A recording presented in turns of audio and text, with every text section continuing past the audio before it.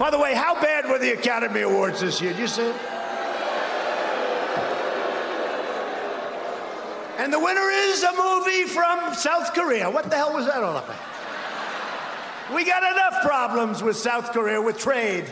On top of it, they give him the best movie of the year. Was it good? I don't know. You know, I'm looking for like where, where let's get Gone with the Wind. Can we get like Gone with the Wind back, please? Sunset Boulevard. So many great movies. The winner is from South Korea. I thought it was best foreign film, right? Best foreign movie. No, it was the. Did this ever happen before? And then you have Brad Pitt. I was never a big fan of his. He got up and said little wise guy statement. Little wise guy.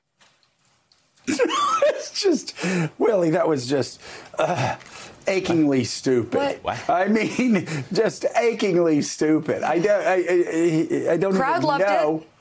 I, I don't even know what that was all about. And then the crowd booing Brad Pitt when you know they're all big Brad Pitt fans. It's just, They'll have posters come in their man. rooms. Yeah, every one of them have posters in the rooms of Brad Pitt standing on I mean, top of Sharon yeah. Tate's house fixing her TV antenna. I don't know think they do. You put, I know you put that one on on I've got your the ceiling. Thelma and Louise which- poster in my room. That's just me. Yeah. Oh, now you that's that is something. But anyway, so there you go. Okay. So Brad Pitt, when he was accepting his Oscar, made a comment about John Bolton not testifying. I guess the president was referring to Oh, so that. he's mad. But what's he got against Parasite? Did the director or the the producers of Parasite do something to Donald Trump? Um, it's not clear. Not other Americans. than there was that They're undertone not. of making America great again. If we could just go back to Yikes. Gone with the Wind, the 1939 movie. I'd love to ask the president his favorite scene or one plot detail from Gone with the Wind. You, you know, it is interesting. I was thinking also that the president's trying to whip up a crowd in 2020 talking about a 1939 Yes. film. Why didn't he just.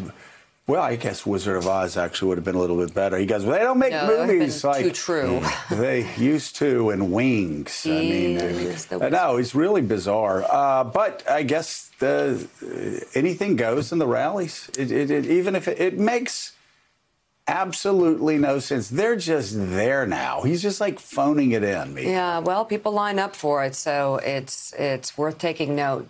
Thanks for checking out MSNBC on YouTube and make sure you subscribe to stay up to date on the day's biggest stories. And you can click on any of the videos around us to watch more from Morning Joe and MSNBC. Thanks so much for watching.